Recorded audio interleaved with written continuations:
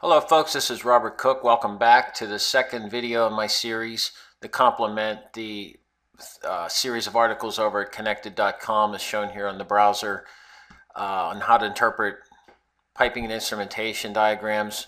What I have up here on the screen, if you don't have the file, please go and download the uh, complementary file or you can just follow along here for now. What I have up here on the screen loaded in AutoCAD are two windows. On the left is the first of the P&ID lead sheets that I go through in my series. And then on the right, I have a couple example P&IDs from some general projects that I've worked on in the past. I've uh, provided just uh, one here that's on um, tank uh, receiving chemicals uh, from a plant uh, with a pump system and uh, another one with just an air stripper that may be used to strip any one of a number of things from a fluid that's uh, being uh, sent downstream. So let's walk through the first P&ID uh, on the left, and I want to begin with instrumentation symbols. Now, these lead sheets, as I pointed out in my series, every company has its own ways and means with regards to lead sheets, and that's fine. But most of them, in my experience, contain 90% of the same information because they are, after all, definition documents for how symbology is applied on P&IDs. So it may look different depending on where you go and, and what you're doing, but for the most part, they should contain pretty much the same stuff. Um, I'm going to dig right in with the with the area that I find tends to give new engineers the most trouble, and that's the symbology. The symbology is really broken down into two parts. It's the codes that are used inside the so-called bubbles. These are based on ISA standard. Uh, here in, in this lead sheet, I, am referencing 5.1 from 1984. They've, they've really uh, been updated a little bit, but uh, for the most part, they're all the same to this day which includes all the definitions of the letter characters that go inside, and then actually the symbols themselves on the right side under instrument symbols. So let's look at the symbols just to, be, to begin this uh, video and understand very quickly how they're used. A circle symbol is a symbol that's used to represent a physical device in the field, locally mounted somewhere. Locally, is a is a relative term. Local could mean the if you come over here, the symbol is an actual flow indicating transmitter. That's local to the, the piping in which it's installed. Uh, it could be a level indicating transmitter, which is installed right on the sump of this stripper. It could be a pressure gauge, otherwise known as a pressure indicator, which is locally installed on the pipe, on the discharge of the pump. Um, so if, if it's a circle, it's generally in the field, locally mounted to some piece of equipment. And that's all you need to know. Really, it's uh, it could be anything. It could be a physical device measuring level, flow, temperature. It could be a pH meter.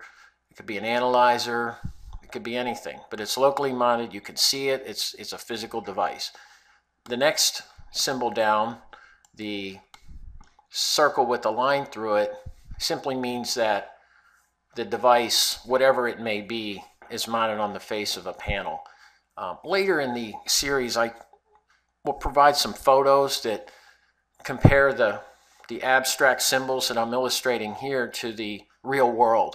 I was debating doing it here, but I, it's just too much information. There's too many windows, and I'm and I'm thinking that it's going to be hard to manage. So for now, I'm just going to describe what the symbols mean, and then we can look at the, some of the photos from some select plant pictures later. But uh, it's not too hard to imagine the types of devices you might have, you might see mounted to a panel. Um, it could be uh, a, a, controller that's uh, used to control temperature in a tank. It could be uh, any any type of uh, a meter that's used to, to illustrate some information. Uh, it could be push buttons or switches that are used to control equipment.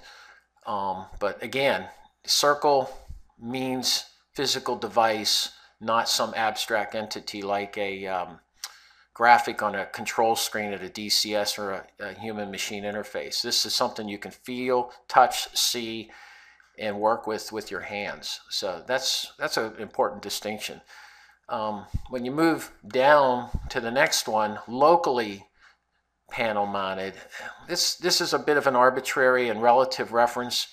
A facility might have, for example, a bunch of panels out in the field that are locally mounted to unit operations. Um, in my field, uh, where I, I, provide systems that are handling byproducts, wastewater, it's not uncommon for, for my systems to include things like reverse osmosis, skids, ion exchange processes, filters, centrifuges, uh, burners for uh, hot thermal fluid, uh, various desorption devices, and a lot of times these equipment will come with their own panels. So you could consider that devices that you want to apply symbology for um, for unit operations having your own panel uh, with the double lines, and then you may have a main panel uh, that you may want to illustrate with just a, a uh, single line.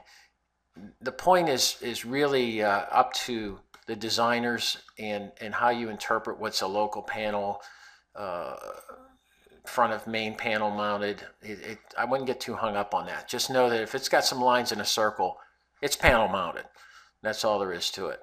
Um, moving down the line again this is a physical device. You have back of panel mounted or inaccessible. Uh, let's say you have a data logger that really doesn't have any interface to it for, for from which operators need to to work with it. It may be installed inside the panel. It's a physical device. It's it may be um, inaccessible normally without having to physically open the panel, and you may show it that way. In the old days with the, the old style boards that you walk behind, uh, where where's where this symbol I believe hails from, it was often the case that you would walk behind the panel and, and there would be various uh, inaccessible, normally inaccessible devices, meaning you don't normally need to access, see, or deal with that device as part of the operation of the facility. It's still important. You still want to show it because it might have critical uh, interface with the process controls, but uh, it's not accessible to the operators. So in summary, circles, physical devices out in the field next to pump equipment, line through it through a main panel, a uh, secondary panel, uh, local in the field, um, and then you have inaccessible mounted. Some minor plays on the circle is where you have two instruments sharing a common housing. Um, let's say, for example, you have a flow meter which has uh, some switches in it that would um, could be used to wire for high or low flow alarms or for switches that might on the case of a level element might invoke some sort of stop interlock so the, the device provides multiple functions but the all of the electronics associated with it are inside of a common housing that you really can't tell from outward appearance that there's a lot more going on than just a single core function. Um, so you would show that as a double circle sitting side by side, which just illustrates that it's uh, inside a common housing. I'm not sure that I have one here to, to illustrate that, but uh, yes, I do. Say, for example, here in this case of this level element right here, this level element has multiple functions. This tank was originally designed to receive fluids that could phase separate into an aqueous and, and, and organic phase. And so these floats here are illustrating that they could measure the interface at the aqueous phase and then the hydrocarbon phase on top. And then the device itself, which is in one meter, in this case we're showing three things happening inside a common housing. It's, it has a temperature transmitter built into it. In this case, the actual element for the temperature sensing is right at the bottom of the the probe that would insert in the tank, and I've labeled that temperature element. So that's a local element. This is the transmitter associated with it. And of course, we have the electronics for each of the floats associated with the element. So, and each of these provide an output to the PLC, or I should say input to the PLC. We'll go over that a little bit later. But that's a good case of where you have multiple instruments or functionality inside of a common housing. And um, I'm not sure I have the same, yeah, I have the same thing over here for a speed controller. Uh, it's very common for a speed controller. Let's say for this example, this is a, very common symbol for a metering pump. And many metering pumps have their own interface on the front panel, local, that has, uh, you could increase speed, decrease speed. You could remotely control how fast they go. That's what the speed controller would be here. But built inside to that uh, pump is the ability to operate it locally with a hand switch that can be turned to on, off, or auto. So what I'm showing here is a pump with functionality that is both local and it has speed control. And these other symbols here are how the control system interface with that physical device. But this is a physical device. These items here that are flashing as I hover you can see them, touch them, and interface with them with your fingers, whereas these others are computer based. Um, there was one here, not by Veolia Water, but uh, I've taken that off. That was a custom symbol that I elected not to show. Um, couple, one other hardware device that's a play on the uh, circle is the pilot light. This is not hard to imagine. This is a circle with these uh, just dashes coming off which illustrate uh, presumably light rays. But this would be anything that that's used to indicate state by way of a pilot light.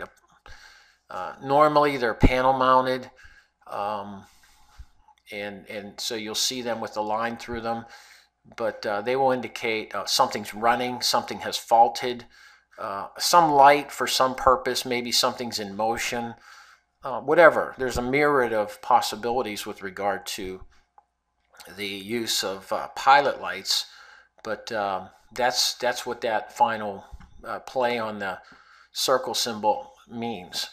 When you move beyond the physical realm of the world we all live in, which is the real world of devices and three dimensions, you move into the down below the cursor line here